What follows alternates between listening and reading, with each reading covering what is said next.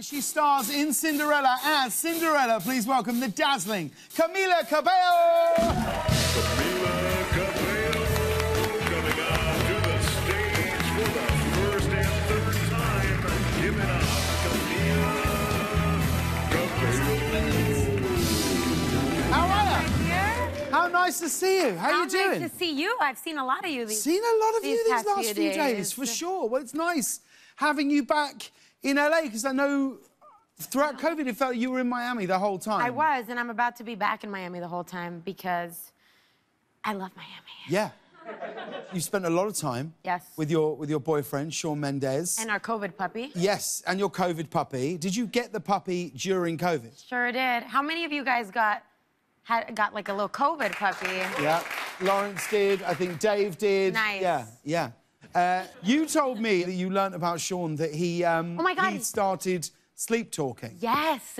Well, he's always sleep talked. Right. But it happened a lot during the pandemic because we were going to sleep together every night. Mm-hmm. That I stay up a little bit longer than he does. I'll be like on my iPad or reading or whatever, and he just like is one of those people that as soon as he gets into bed is just like five minutes later, like mid sentence, he'll be like, on. and I, and I'll be like, um, but I would be like reading or something, and he would just like start sleep talking, and it would scare the out of me because he'd just be like, "Baby, that feels so good," and then he would like go back to sleep. That is the first thing he ever said when he stopped talking. By the way, I don't know. I was He like, said, "Baby, that feels so good." I don't know. I was like, thank you. I'm not really doing anything right now. Thanks.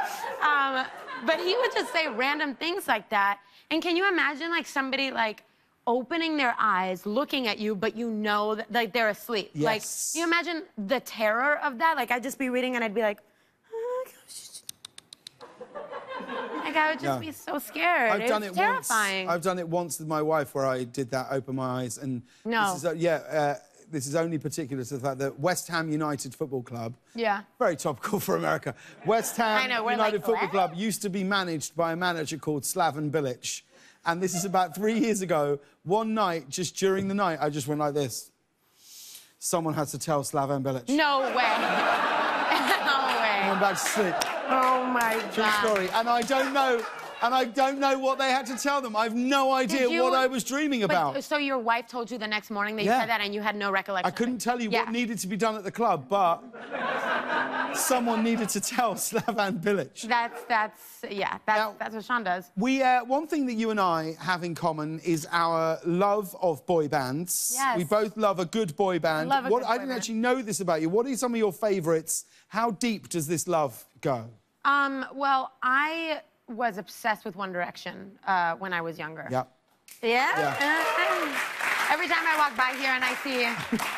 I love that Lawrence led the clap on that. Lawrence just went, woo! Yeah. Um, I I used to be obsessed with One Direction, um, and I I had like I mean people will be like, is it true you used to have a fan account for One Direction?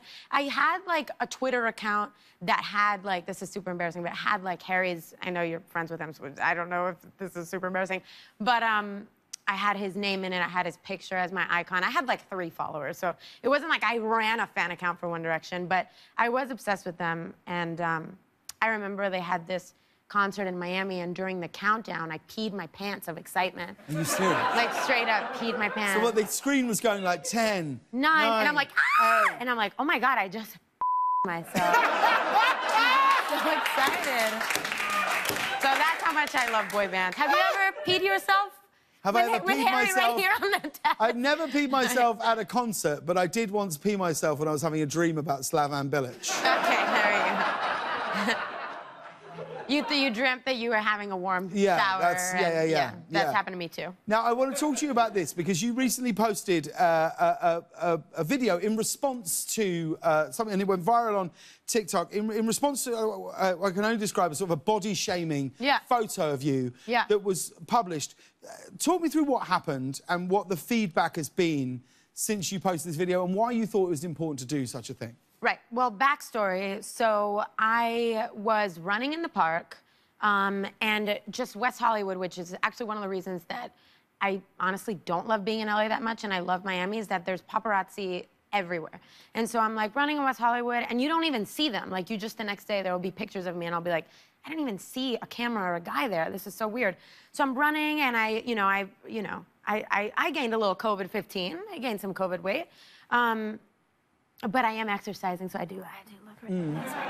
But um, so I went running, and I had, you know, my belly out, and I, I didn't know anybody was taking pictures of me. And then I was like, the first thing I thought of, because it had happened to me a few times before, like while I've been in LA, I was like, oh, these pictures are gonna come out, and you know, my I'm, I'm wearing a shirt that like shows my tummy, and I wasn't tucking in, and I had all the initial kind of like anxiety thoughts of like, damn, I didn't see him there, I didn't know he was there, and these pictures are gonna be out, and then I was like, you know what, this is normal, like it's like my weight is gonna go up and down. Also, we have this crazy, these crazy beauty standards from like freaking Instagram of people that, you know, are photoshopped, or if they're not photoshopped, it's not every woman's body.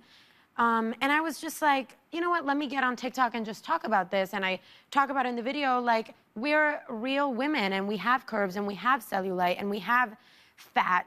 And it's just like a lot to just like have these crazy unrealistic standards that make us feel bad about ourselves and make us feel like in order to go out i have to hide my body or put on a big t-shirt. It's like why should i have to do that? Why can't i just like be me? And i posted it and it was like literally the next day i got so many women coming up to me being like whoa like that's so resonated with me. Um, and these standards are ridiculous and so toxic and anytime pictures, I just feel so much more confident now, honestly, after I posted that video because I feel like I just kind of controlled the narrative on it. Yeah. You know, instead of people feeling I like. also think the news and media organisations have a have a duty to not start running things in magazines of like, oh, look at her belly. Where actually, Totally. actually, if those news organisations chose not to lean into the negative, but leaned into the positive, and were like, Totally. look at Camila Cabello going out for a run, Yeah, totally. living her best life. Totally. That would be a much more positive thing to put out there. I'm so glad that you did it. I'm so glad you said it. I'm glad that the response has been what it's been. Um, because this is, I honestly think this is an amazing time for you. I'm lucky enough, I've seen Cinderella, I've seen the movie, and I, I've told you this personally, I'll tell you this uh, openly now. You are so brilliant in this film. you. you, you, considering it's your acting debut, it is absolutely incredible. It's a, a modern take on a classic tale. For anyone who doesn't know, why is this Cinderella different, and why should people watch it on Amazon?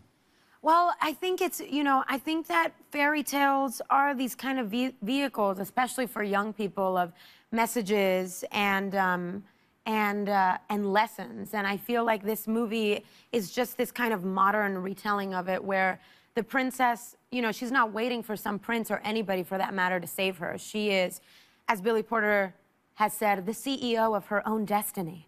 Uh, which I love, and she's, you know, she's got dreams and she's got ambitions, and it's at a time where women aren't allowed to own shops and pursue their kind of creative vision, and she's seeing um, this kind of like societal uh, system that's holding her back, and she's the one that's deciding to do something about it. It has all of the tropes of Cinderella. It has Yes, all of the go. romance and the love, but the key ingredient that's different is she's not just looking for a man to make her own life. She wants to make her own life.